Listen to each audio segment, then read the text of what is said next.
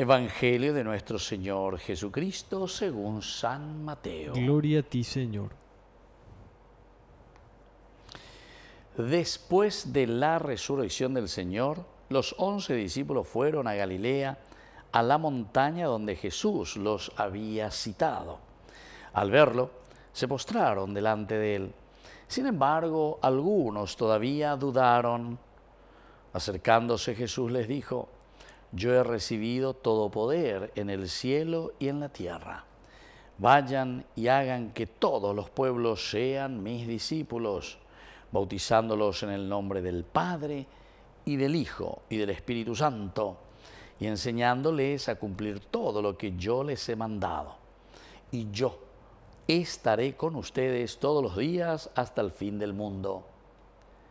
Palabra del Señor. Gloria a ti, Señor Jesús. Queridos amigos, hoy entonces estamos celebrando en este domingo este gran misterio de la Santísima Trinidad. Aquí sabemos, ¿verdad? Desde el aspecto dogmático, del aspecto de la enseñanza, se nos dice un solo Dios, tres personas. Personare, griego siempre significa manifestación. Persona es cómo se manifiesta alguien, ¿verdad? Nosotros somos personas, ¿por qué? Porque yo me manifiesto de una manera. C'è con ese temperamento, con esa forma de ser, en fin, soy una persona. Vos sos una persona porque vos también tenés tu manera de manifestarte, el espíritu, eh, el alma, por eso porque estamos hablando, esto es terminología griega, entonces mi ella entendía la que tú hanguella o y va las tres personas y un solo Dios, ¿verdad?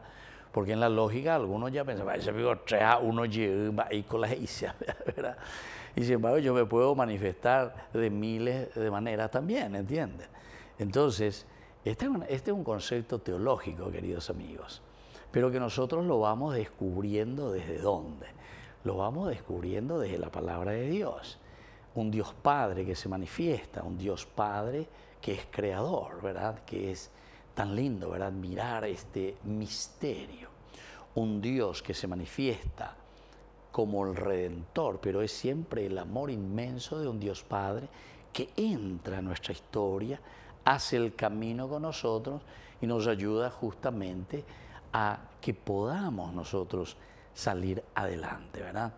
Pero, como decimos, Jesús nos ha redimido y nos ha enseñado y nos dice, ahora vendrá el Espíritu Santo. Y justamente el domingo pasado, y por eso hoy celebramos a la Santísima Trinidad, porque, entre comillas, ya Bella, se ha manifestado lo esencial y lo fundamental, cómo nosotros entendemos el actuar de Dios. Un Dios que ahora siempre continúa con nosotros presente. Después de la ascensión, ahora viene el Espíritu Santo y el Espíritu Santo que continúa y va plasmando en nuestro corazón. Él les recordará, Él les recordará todo aquello que yo les he enseñado.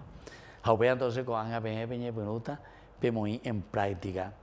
No se olviden que uno de los elementos esenciales y fundamentales cuando hablamos con San Juan era el aspecto de la fe. Y la fe que quiere decir el adherirnos profundamente al Señor. Y esa fe que entonces después lo trasladamos y lo ponemos en obra. Una vez que estamos, ¿verdad?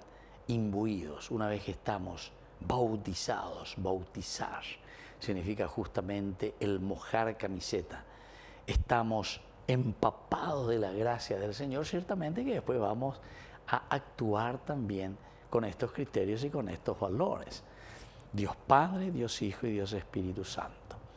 Y aquí entonces la palabra de Dios justamente nos está diciendo, Dice, los once discípulos fueron a Galilea, a la montaña, donde Jesús los había citado. Miremos algunos elementos. Aquí ya estamos once en Temaoína. Después más adelante se unirá Matías, ¿se acuerdan? Eh, para eh, cumplir o para unirse a esto de lo que había sucedido con Judas. Y luego van a Galilea. No nos olvidemos que Galilea también es un hombre teológico, es un lugar teológico, es el lugar desde donde Jesús comenzó a predicar el Evangelio. Desde aquí el Señor comenzó a caminar, primero a buscar para sus discípulos, los va llamando. Y una vez que los llama, entonces ahora comienza a caminar con ellos. Pero ahora después de la resurrección será diferente.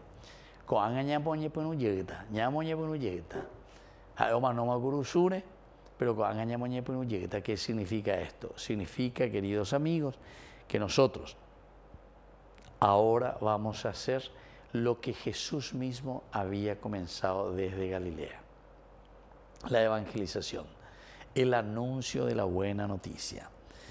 Después dice, los lleva, fueron ellos a la montaña. ¿Por qué van a la montaña, queridos amigos?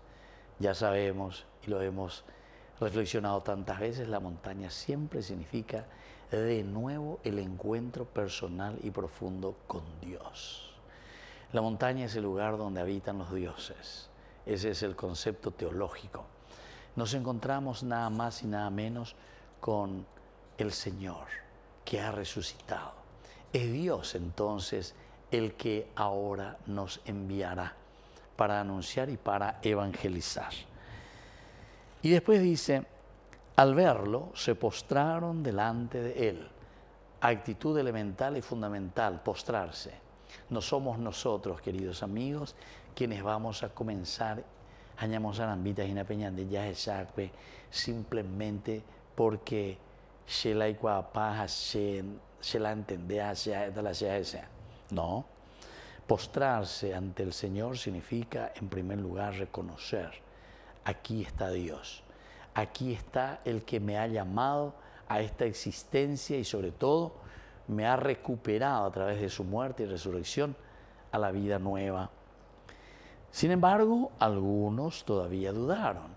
El evangelista Mateo insiste en este aspecto del dudar porque a pesar de la resurrección, a pesar de la prédica donde nosotros somos los miembros esenciales y fundamentales, somos los apóstoles, los enviados por el Señor. Da etea o enduta ina y de oye popete y por ahí teiko la la.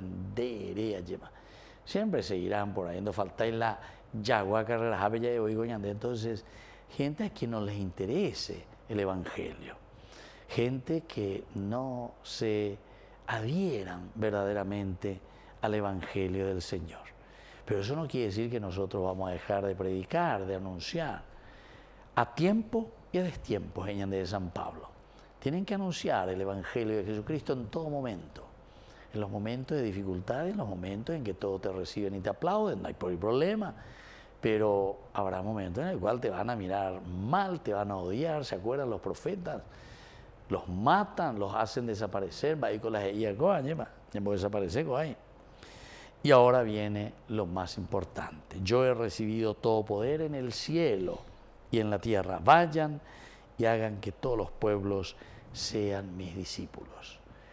Hoy que estamos celebrando este día de la Santísima Trinidad, somos enviados por el Señor y los vamos siempre a predicar en el nombre del Padre y del Hijo y del Espíritu Santo, la Santísima Trinidad el Dios que nos ama, el Dios que nos acompaña, el Dios de nuestra historia.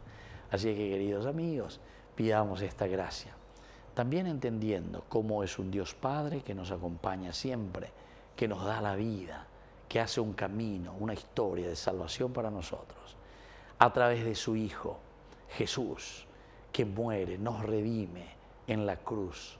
O me tengo y lleva supe humano, hasta la última gotita de su sangre. Y ahora, queridos amigos, hace poco, la semana pasada, que celebramos este gran misterio de Pentecostés, la fuerza de un espíritu que nos acompaña durante todo este tiempo ordinario. Pidamos esta gracia, seamos evangelizadores y sobre todo sintámonos acompañados por la Santísima Trinidad, el Dios Padre, Hijo y Espíritu Santo. Que así sea. Que así sea.